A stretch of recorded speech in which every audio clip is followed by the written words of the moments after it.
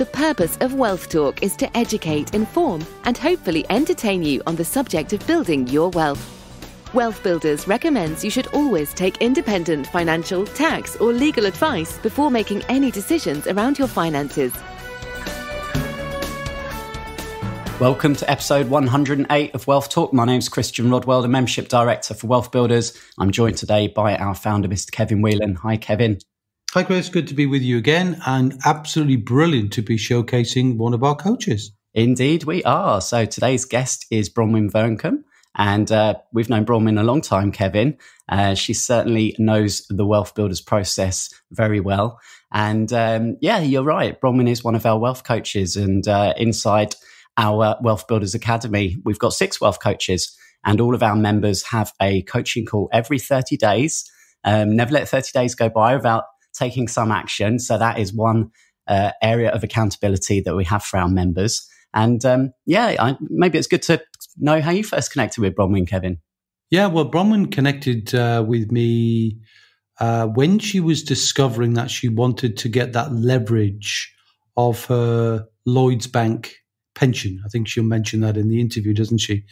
And uh, so, you know, she came to she she was introduced to me by uh, Simon Zutshi, who was a, um, a, property coach. So again, the importance of coaching and the importance of connections.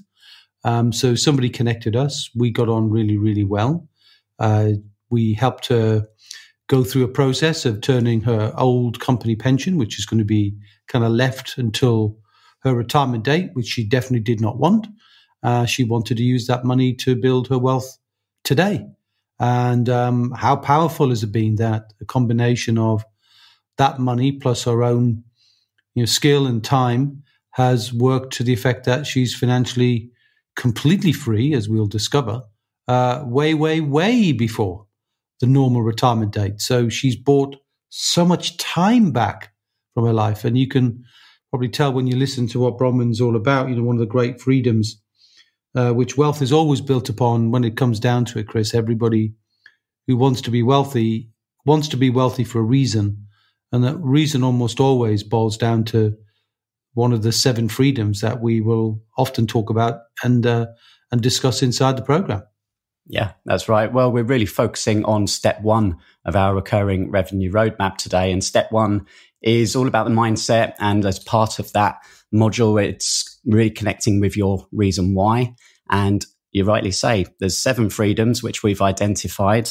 Uh, we know that these are almost always important to to our members, and that's of course financial freedom, time freedom, freedom of location, which we're focusing on today, uh, relationship freedom, creativity, freedom of control, and freedom of purpose.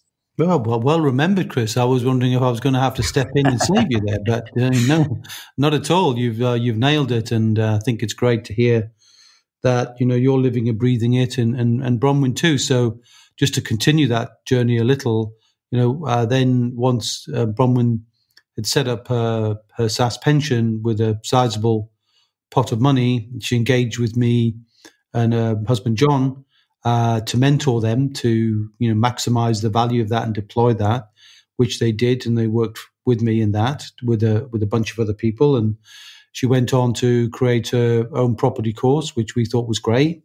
And then um, she resonated so much with us, and the relationship was so strong. She decided that wouldn't it be great to be giving back by helping other people to become financially independent and and now as a coach and and she does the coaching really not for profit it's uh, it's definitely not. It's a purpose for her as it's giving back, isn't it? It's to say, hey, I was in a place where probably what I was going to get out of life, trading time for money, wasn't what I wanted. I made some changes. I followed a path. I got some clear accountability. Uh, the plan was there. I was held accountable to the plan. And as a result, it's worked. And really, in essence, Chris, she's walked the entire walk of the nine step roadmap. Well, we're talking about the roadmap and actually a good moment to remind you if you're listening now and you haven't yet registered for the Academy launch webinar that Kevin and myself will be holding on Thursday, the 3rd of June, we'll be walking you through the entire roadmap so you can see exactly how we help our members to move from a place of financial insecurity through to security and then to independence. So if you'd like to join us for that, do head over to wealthbuilders.co.uk forward slash academy launch, or one word. And uh, yeah, reserve your place and join us on the 3rd of June. So, um, shall we head on over and have a listen to our conversation with Bronwyn? Yeah, let's talk about that and um, just be mindful, I think, because uh, as you'll hear from story, she's in a very unusual place. And when you're in unusual places, you sometimes get unusual noises. yes, the African winds blowing in the background. So, uh, okay, let's head on to our conversation with Bronwyn Vearncombe. Bronwyn, welcome back to Wealth Talk. Hi, Christian. How are you? Very, very good. Thank you. And um, for our listeners, if uh, you'd like to see the wonderful blue skies that Bronwyn has in the background today, which is really to the point of our conversation, then do head on over to uh, the Wealth Builders Facebook page or Facebook group, and you can see the video recording of this interview. But Bronwyn, good to have you back on.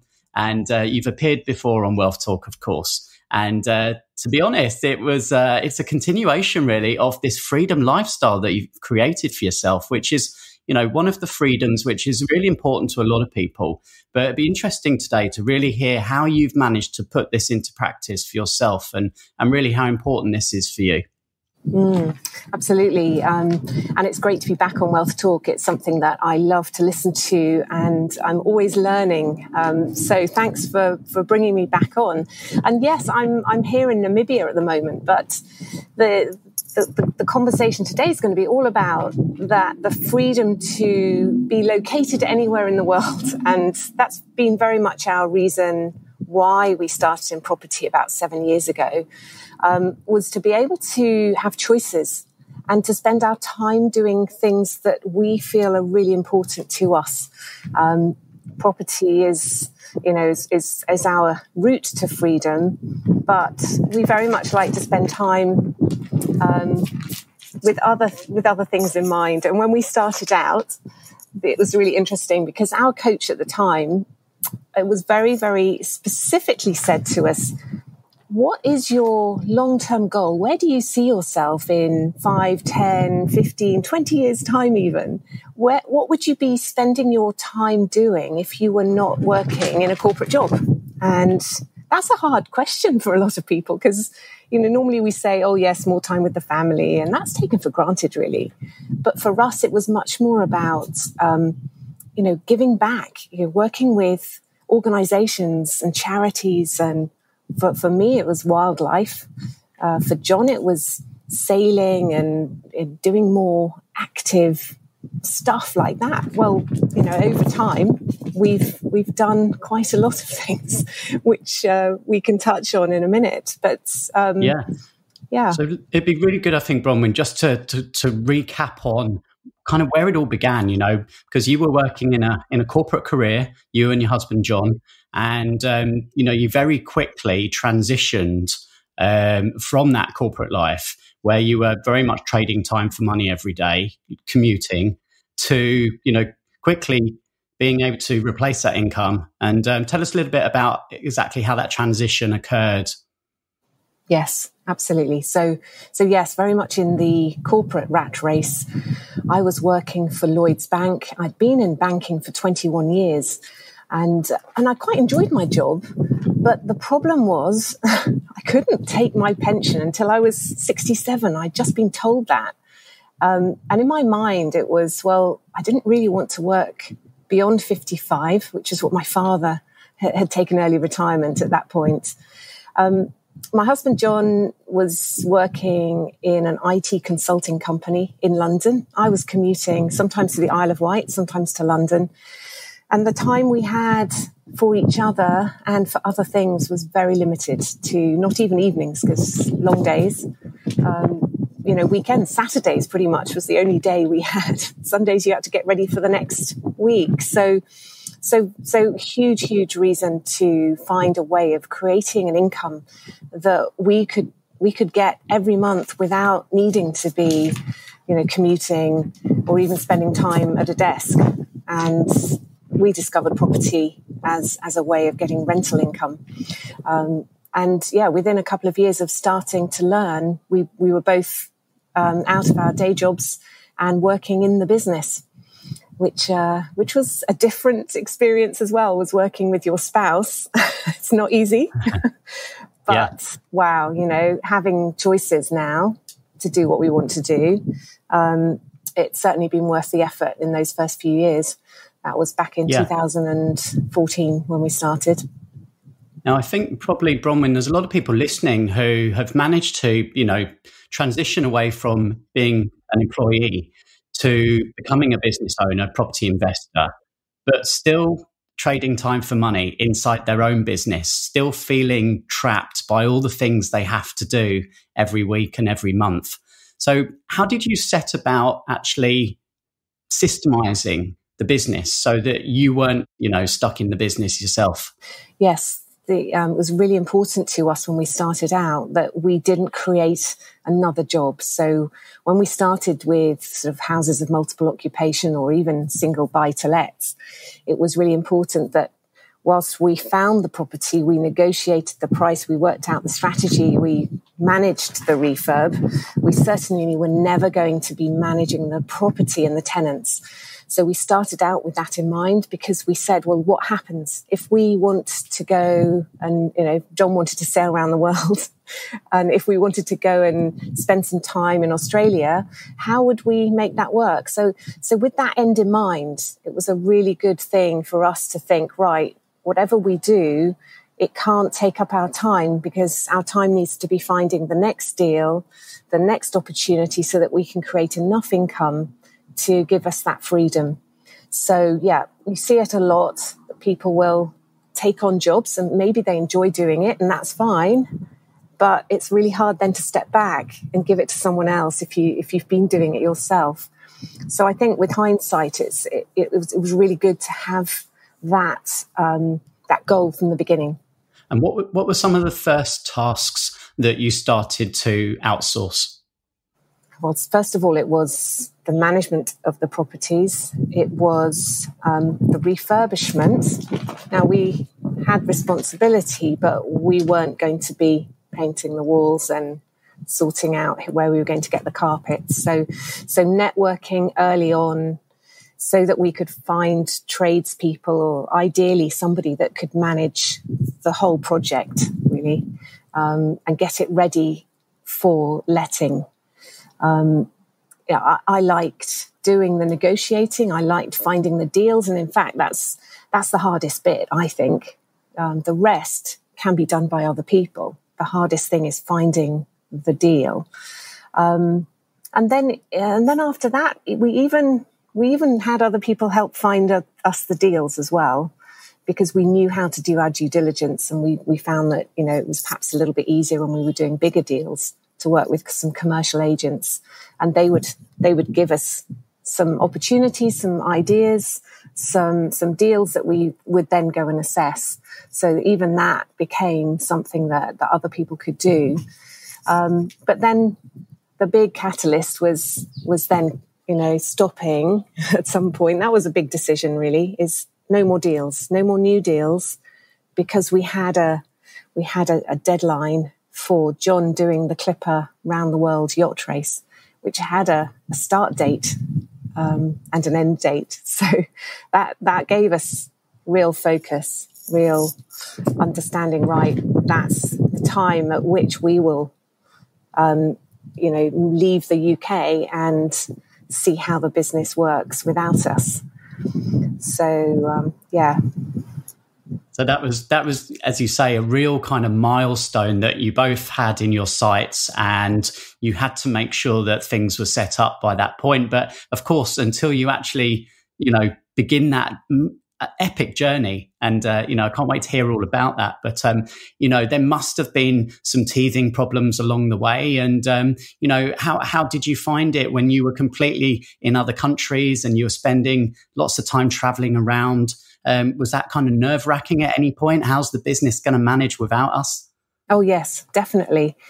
You know, we we had to get our house ready to rent out as well before we left, and we didn't. You know, we were on this sort of um, this real focus of right, we've got to do this by then. John was doing his training, so he was off for several weeks at a time training to to sail the, these these this round the world yacht.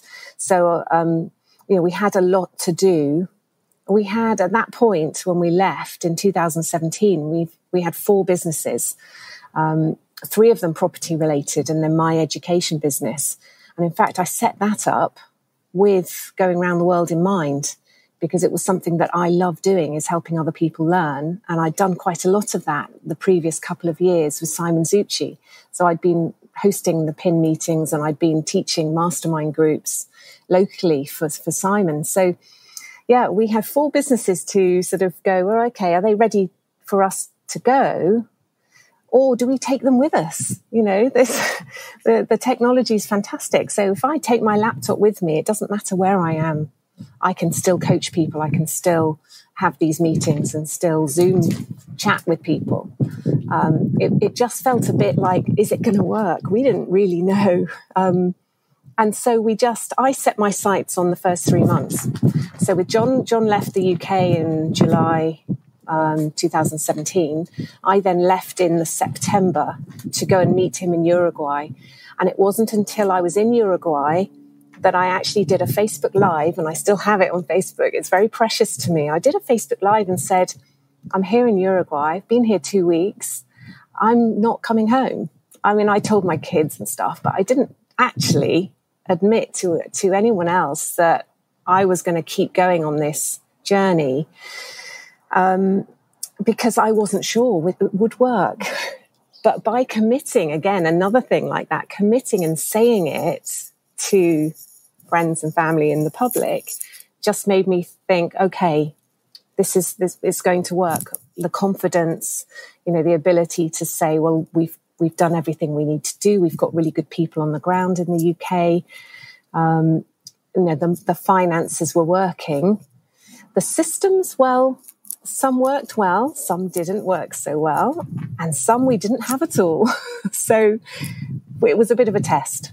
And I always knew I could I could hop on a plane and go home if I needed to. I had that flexibility. John didn't, not if he wanted to complete his round the world challenge. Um, he was coming into various ports across the world. So every, you know, between three and six weeks, you know, he'd be finishing a leg uh, wherever in the world and we would get back together and I would have a list of things he needed to do for the business. Um, once he'd recovered and then before he went off on the next leg. But I knew I could always fly home. The worst comes to the worst, you know, I can always just hop on a plane and come back. But by setting that goal in Uruguay, it was just another business goal. It was something that, you know, I can make this work. I'm going to say to everybody, look, I'm going to go around the world as well. Um, follow me, come with me. You know, I've had a lot of followers on my journey. Yeah, it was it was brilliant. It really was brilliant to uh, to watch that. And uh, I think what you mentioned there about the accountability, make yourself accountable, state publicly, you know, uh, that's really important. Certainly, I've used that to good effect as well in the past. And um, I'd love to know, Bronwyn, you know, what was the routine that you kind of did your best to get into uh, when you were away to, you know, just to keep on top of things? Was it like a early morning routine? Were you checking stuff throughout the day? And, you know, just how, how much time did it actually consume? Yeah, I had to be super organized for the round the world because obviously I was going to be in different places and I had to be, um, I had to plan quite a lot of things. But I, I, I was quite good at getting someone to help me doing that. I like working with other people.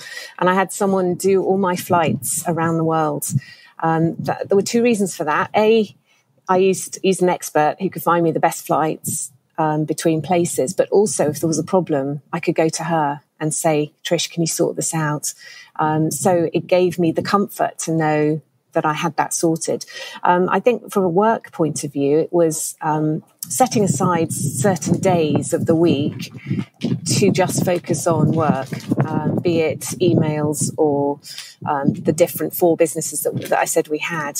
I did, I did do a new deal. I didn't tell John, but just before we left, um, just before I left the UK, um, I'd met with an owner of a bed and breakfast and started to talk to him about renting uh, leasing his empty bed and breakfast. I didn't tell John because he would be really cross with me, but I knew it was going to work well. it wasn't new, it wasn't a new thing. We'd done it before, and I just couldn't say no to it. So I was negotiating that um, when I left, and then carried on doing that. So, you know, I would have, I would be there on video uh, with my um, guest house manager and the owner um, I met him face to face before I left, but then we carried on talking. He didn't know where I was. He didn't know I was going away for a period of time. I didn't. He didn't need to know that. Just needed to know and trust me. Um, so a lot of people didn't know that I was away, um, and didn't. You know, the time difference. Obviously, I had to be careful with and manage that. But I set aside certain days. That was how I did it, and then I used Calendly as a as a tool for managing my diary. So if somebody needed to talk to me, I could send them the link and that would automatically in my phone, I could set the time so that it worked from a time zone point of view.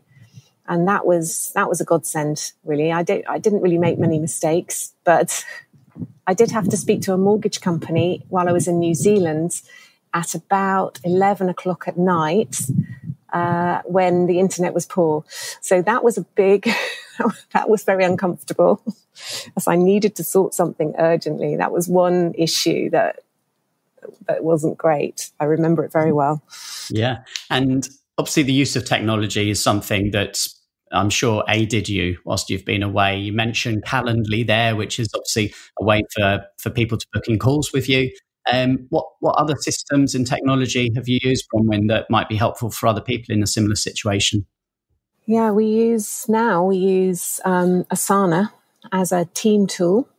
Um, after the first after the year around the world, we came back and took stock. You know, there were things that were in control brilliantly, and there were other things that were not. And the email uh, trail, and if we weren't around for a while, the email volume was huge. And what we found was using a tool like Asana meant that we could alloc- allocate tasks to people, but also rather than losing emails on a, you know, emails in, in the email system, you can actually have tasks where you can look and see people's comments within the team. So you're much more in control. Um, so Asana's been, is vital to us, absolutely vital. Um, LastPass for passwords because as you know, you know, when you go to different countries, um, some things work and some things don't, or um, because you're using a different Wi-Fi system, you know, sometimes things go a little bit awry. And knowing that all our passwords and everything is accessible by us and by people that we want to use those things also meant that from a security point of view, we were comfortable. Um, those are the two key ones. Calendly, I've talked about. Um, and yeah, my, my MacBook Pro, really. I can't, um, you know, using really good equipment um, with great memory, you know, the highest memory storage, Dropbox. Dropbox is the other one. Um, Dropbox essential for storage, secure storage of, um, of information and Google Drive as well. So we, when we create stuff, it's in, again, it's, it's easy to access. So, um, yeah, but the first year, as I said, this is how we learned. You know, we realized what worked well and what didn't work so well. Um, after that round the world, we had a few months at home and then we went to Australia. And that's where I wrote my book. But in Australia, the good thing we did there was that we didn't even rent an Airbnb or an apartment. We actually house sat for somebody. So there's another idea for people that you don't, you know, we saved money by renting our home out, um, either on a short term or long term basis.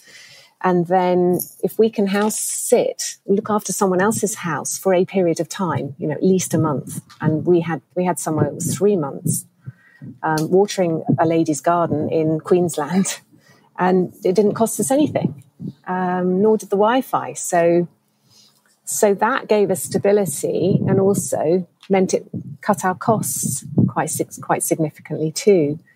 So um, there are different ways you can live remotely um, and still continue um, your business. And if you can make use of your own your own home as an asset, Um, that's also very useful, takes the pressure off. Yeah, so so a good example there of of leverage and and um, you know touching on one one of the seven pillars with with home capacity there. Now, obviously, uh, in your role as a, as one of our wealth coaches, Bronwyn, you're um, you know you're coaching our clients and our members, um, you know, whilst you're away enjoying the freedom of location. And um, you know, what are some of the strategies that you yourself have now um, expanded into and, and different use of pillars since you first started? Mm. Yes, I, I'm, i love helping other people learn, and um, it's been great to be a coach for for, for wealth builders. Um, and the, the good thing there again is is I have a calendar, so I will block off my calendar and make sure that I'm available. Um, we've been volunteering out here with wildlife conservation, so I've had to be careful because quite often I'm in remote places with no internet at all. So, but on the whole, it's worked pretty well um, because I can schedule that. Um, uh, so that's been great. Uh, in terms of other pillars, well, there's my book. Um, I do have a copy here, uh, Building Your Dream Life, which I wrote while I was in Australia. Um, again, that's for me, that was quite hard. It was a hard thing to do. I had to have discipline to sit down and do that. Um, again, I used experts. Something's a bit of a theme here, but I worked with a book coach um, just to give me that drumbeat and that focus. Very, very important. Um, managed to do that while I was in Australia, and um, yeah, by by sharing and inspiring people with my story, that book, um, you know, I was able to to share all top tips, all the things that I've done, all my case studies and examples, so that um, people can see that it's not rocket science. It isn't difficult, and if if somebody like myself can can put something in writing like that, then anyone can do it to be to be honest. So, trying to inspire people and and help other people, and of course, I've got my own um, online um, property training course that I set up um, in 2017. Um, and with that in mind, that's video based, so it's very visual. Something that I think was quite unique at the time.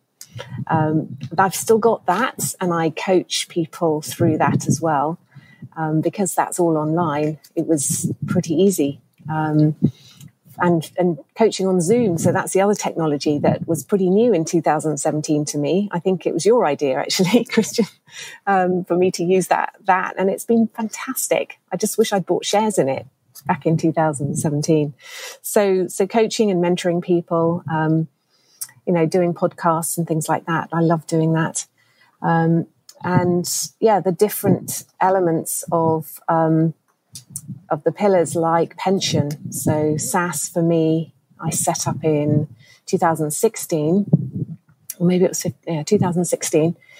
Um, and you know, being able to then use that in my business and to help other people as well, fantastic. Because I can lend to other people doing property, and I can also uh, borrow my own pension funds for various deals that we were doing. And as I said, you know, working remotely, you might think, oh well, she can't do any more property deals, so she's finished her property journey. Well, that's that's not the case at all.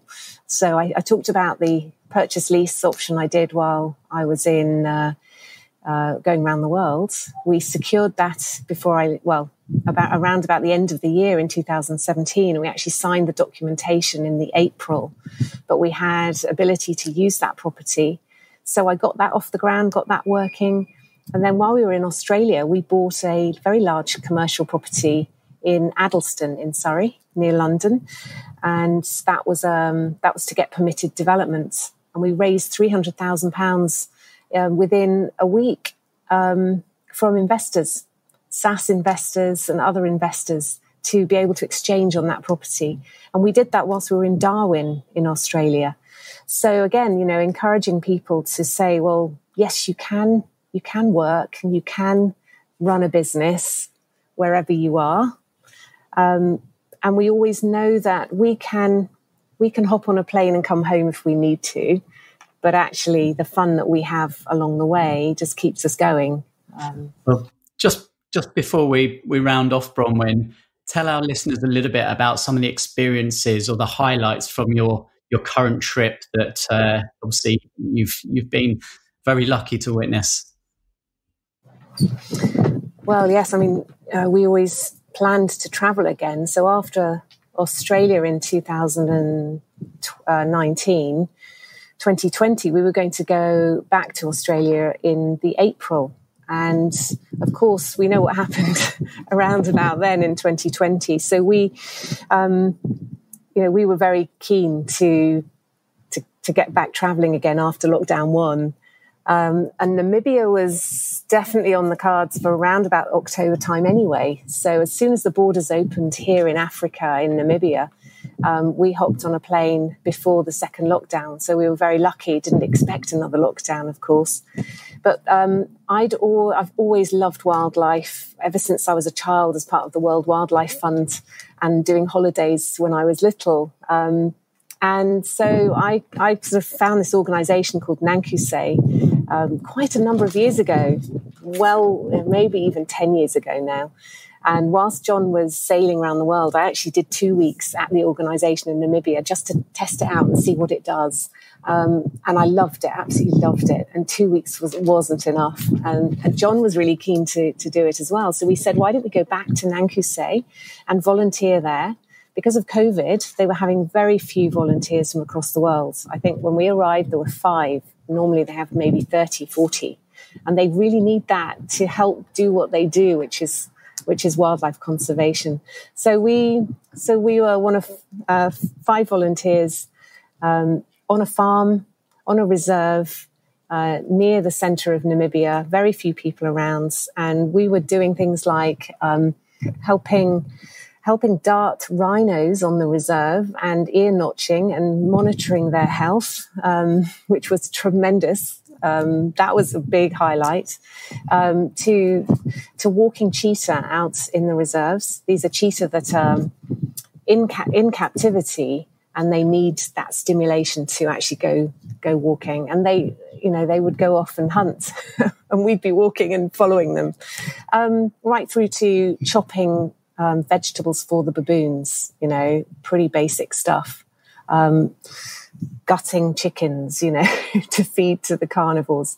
Um, but you know, they really needed our help. And the great thing about about doing the stuff that we've been doing is that it, it's been a, a big wish of ours to give back to charities. So we pay to do the volunteering. We we give our time and we give our muscles and brain power to helping. Um, and even now, you know, John's working on a spreadsheet to help the Lifeline Clinic um, monitor what they do with um, with young people in um, in the community in terms of their um, the medical care, so that we we've got skills and abilities to help other people, and it, it's really rewarding. Not only did we escape lockdown, but we've been in a, such a beautiful country.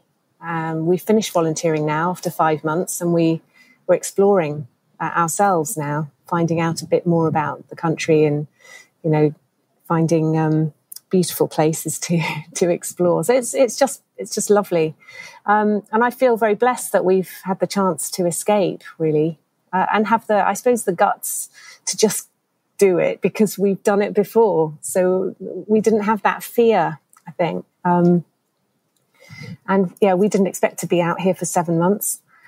Um, there just wasn't any point in coming home um, during lockdowns or quarantine. Um, and it's our intention to carry on um, traveling whilst whilst we've now got our car out here. So, yes, lots of exciting times.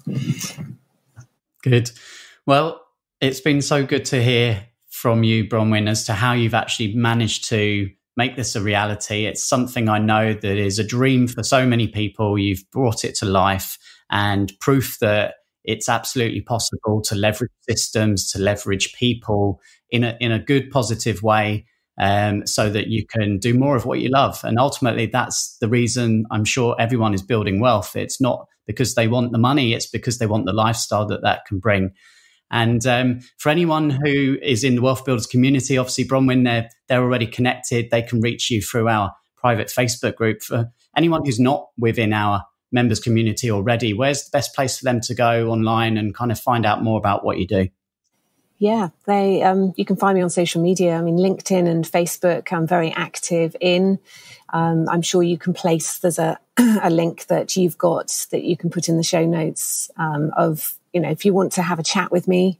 Um, I've got a diary system. You can book half an hour for free um, and talk to me about how I can help you with your property journey and maybe your mindset as well. Because I think the the one key thing I want to say to people now is don't wait you know, if you've got the freedom, and yes, my kids are older, so I, um, and you know, I don't have any parents now, so they they've both died. So I suppose from that point of view, it's been easier. But but don't keep putting it off and go, well, maybe next year, maybe next year.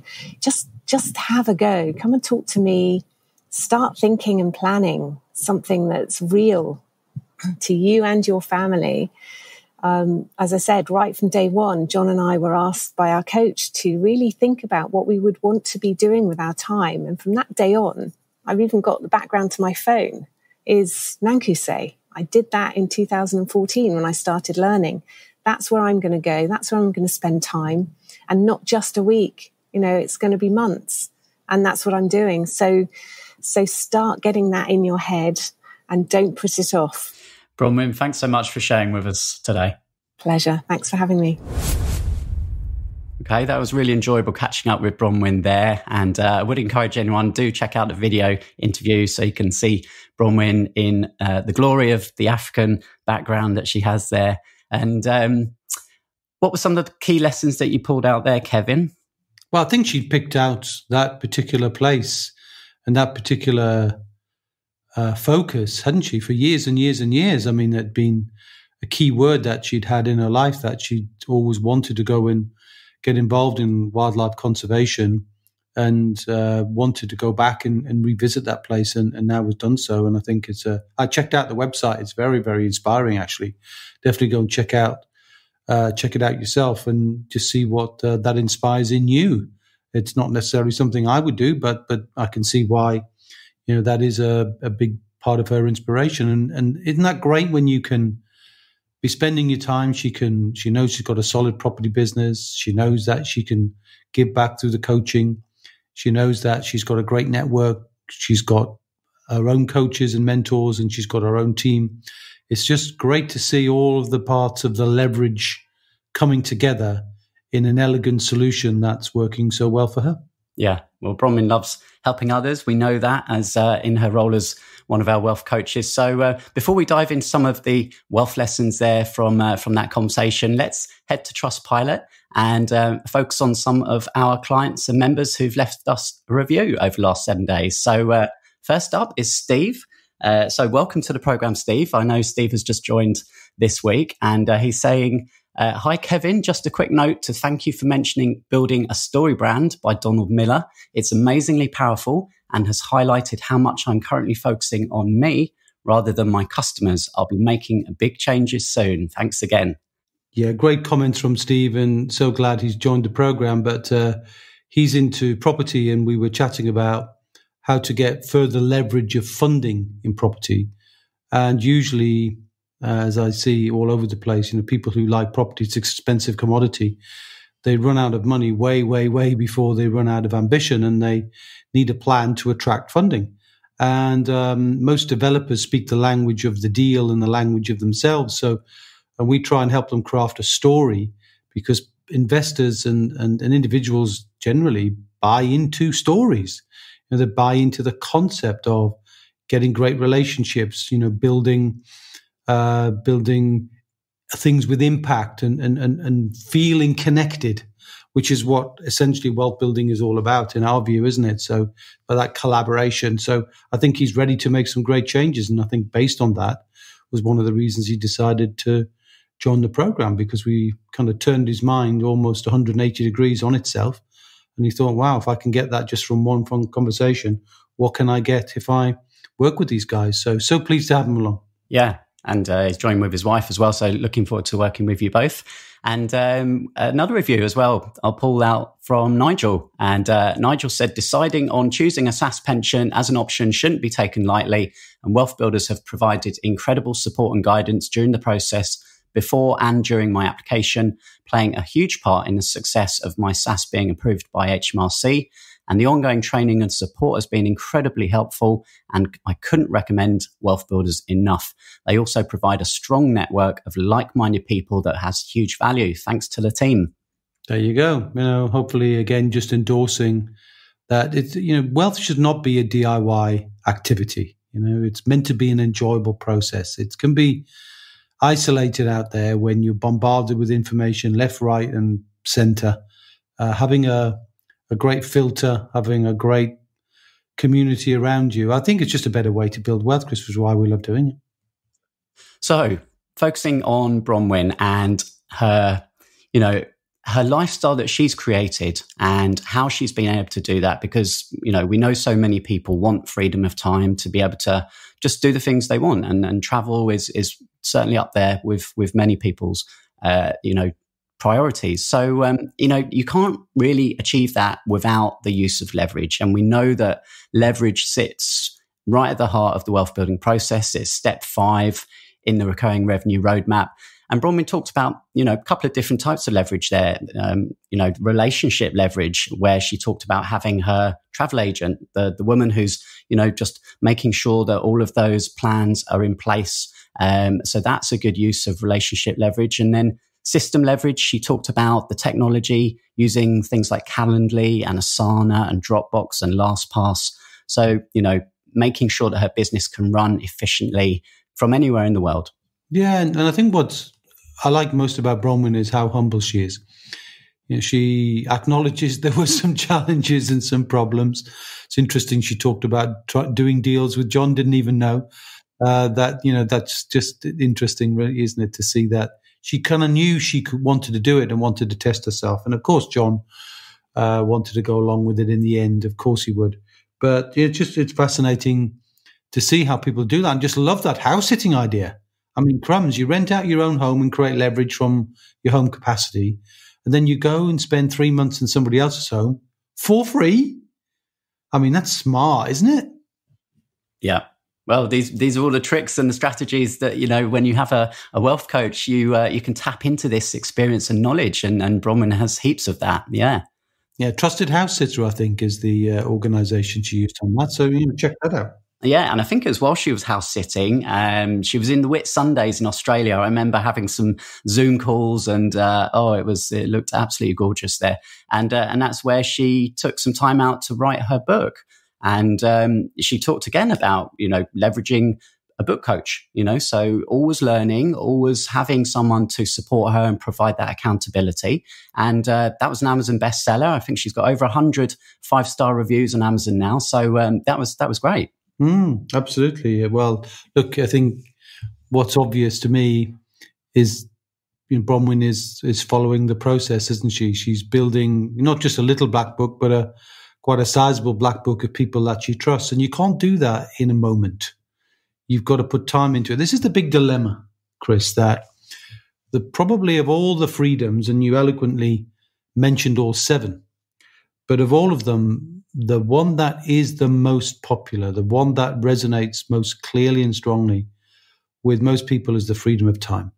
So the time to do what they want, to be where they want, with who they want, Yet the amount of time people are willing to give to create a life that's possible is so little. Constantly trading time for money, constantly battling uh, self employment, which is trading time for money. Often in businesses, which the illusion is the business is making them free, but in fact, the business is trapping them because they're spending more time in more jobs than they had before. And uh, as they'll begin to realize they can't be masters of all of them because when they had a job, they had infrastructure with people who were trained in certain areas, and now they've got to wear all the hats under the sun, and that causes problems. So I just want to encourage people to to find that two hours a week. That's all it takes to start. And you just have to start. You don't have to be perfect. And you can tell Bronwyn was not perfect. You know, she came back, made changes, came back, made changes constantly evaluating and making changes. So get started, find two hours a week. That's enough to get going. And within five years, you'd be completely financially free for most people. Isn't it worth paying the price to do that and then to be living a life, whatever your version of Bronwyn's life is, uh, on your own terms um, for the rest of your life. I don't know. I think it is, Chris, and it, you know, I'm constantly perplexed as the the traps that people kind of fall into, um, thinking, "Oh, it's I don't have the time." Well, yeah, okay, then you're going to be trapped forever, uh, trading time for money and working till you die, and it's just not a great place. Um, so anyway, I'm off my soapbox about that. well, we know one of our core values at Wealth Builders is is the fact we're holistic, and um, the seven pillars of wealth are, you know, the, the the key really to diversifying, so that you're never reliant on one source of income. And for most people, we know 95% of the population they're relying on that one source either from a job or their business. Um, so the key is to really look at multiple pillars, multiple streams of income, and whilst we didn't specifically go through those with Bronwyn, we know her well enough um, to know that she's got multiple pillars working. And we talked about home capacity. She talked about joint venturing, lending her SSAS uh, money to, to other investors. So you can see there when you really do focus on building wealth across multiple pillars, it gives you that freedom. It does, and it, it makes you, you know, financially bulletproof. Uh, not that you should worry about trying to build wealth on seven pillars in one go. That's not what you do. You start somewhere, and as Bronwyn did, she started with property. Then from property, she went to pension. Then from pension, she went, you know, to IP, and then from IP, she's gone to joint ventures and collaboration. So it's a process of working out with your coach what's the right thing for you to get started. Otherwise, if you give people the idea, Chris, that they need to build wealth in multiple things and they think they've got to build wealth in all seven assets, they'll shut down in overwhelm and the thermostat will click out before they even start. So we just want people to start with one thing. And that could be any one thing, even if it's just investing a few hundred pounds or a few hundred dollars into some form of investment, you know, to get them going so that they've started to make some progress. The journey has begun. Well, if you are looking to begin your journey, then we'd love to remind you to uh, come and join us on the 3rd of June, where we'll be showing you inside the brand new Wealth Builders Academy, which we're launching in June. So do register at wealthbuilders.co.uk forward slash academy launch. And um, I think that pretty much wraps up today's episode, Kevin. Yeah, looking forward to that. And maybe, Chris, we should highlight some of our other coaches and their unique pathway because everybody chooses a slightly different path with a slightly different story, but all roads end in financial independence. Yeah, we definitely will do that. So uh, thank you for listening today. Hope you enjoyed it. Kevin, we'll catch up same time, same place next week. Mm-hmm. And until next time, my friend, see ya. We hope you enjoyed today's episode. Don't forget that we are constantly updating our resources inside the Wealth Builders membership site to help you create, build, and protect your wealth. Head over to wealthbuilders.co.uk slash membership right now for free access. That's wealthbuilders.co.uk slash membership.